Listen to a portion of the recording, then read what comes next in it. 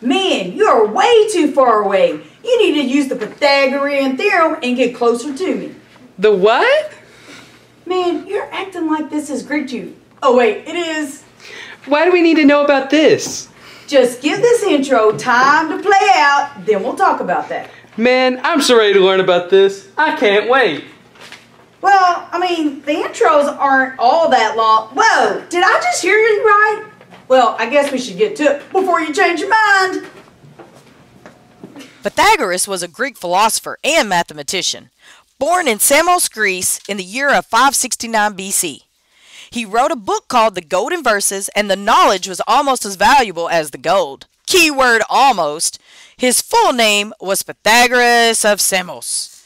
That's like if I got my name changed to Dealer of the Math Lab. Actually, that kinda has a ring to it. Do you like the roof you have over your head? Well, you can thank good old Pythagoras for that innovation.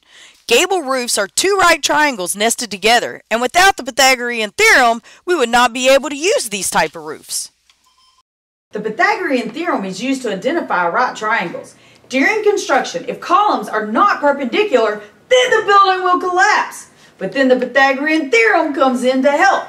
The workers use the Pythagorean theorem to make sure that you won't have half the ceiling falling down on your breakfast. The hypotenuse is always opposite the right angle. So when you measure the hypotenuse, it will verify that the right angle is between the column and the ground or the column and the roof. I mean, why be wrong when you can be right triangle? Also, what people don't know is that the Pythagorean theorem doesn't only help us make roofs, it also helps us get to places on time. This is very helpful for us in this very busy time we live in. GPS is one of the best innovations in our modern world.